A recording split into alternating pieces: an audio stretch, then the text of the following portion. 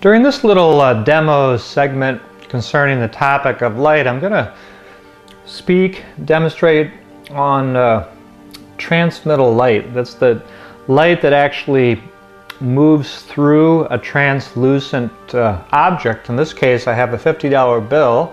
We're looking at the uh, bill close up and uh, I've got the light coming from left side, creating this front light and then actually moving through, passing through the bill and transmitting itself.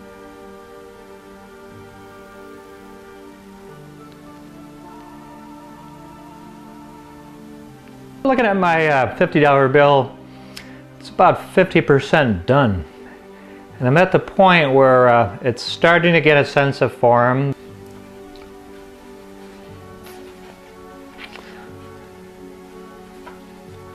So now this, this whole foreground is not only lighter in value, but it also is, is a tonality that's complementary to the tonalities up above. So with my number two bristle, I'm going to mix up a really high key tint of uh, this yellow ochre.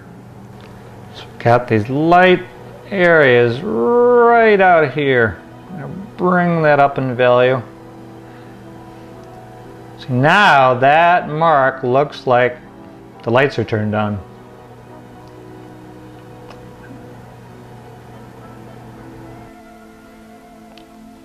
Bit of light here, and then the light gathers right here.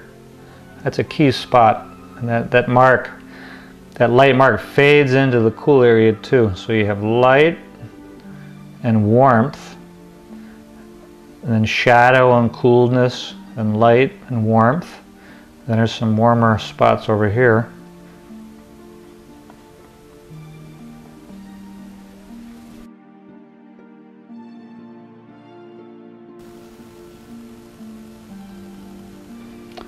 And we've got this bit of light hitting the top of the fold. So I have to sort of drag this brush across. A few more marks right here. I want to bring that up, make that slightly higher key.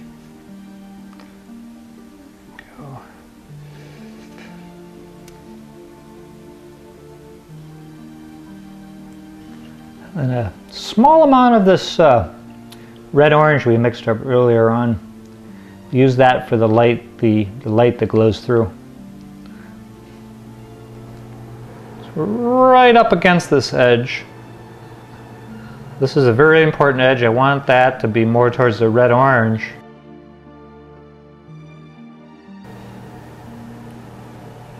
So right on top, a little bit of scumbling and this is even warmer up here. And it fades in. I'm going to allow some of the yellow to come through.